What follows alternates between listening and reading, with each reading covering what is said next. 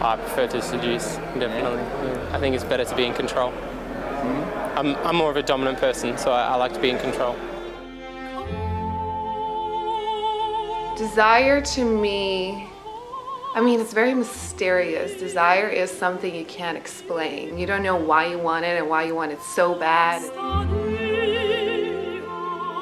And like there's something magical about it, something mysterious that you kind of really can't figure out. And that's why it's so interesting.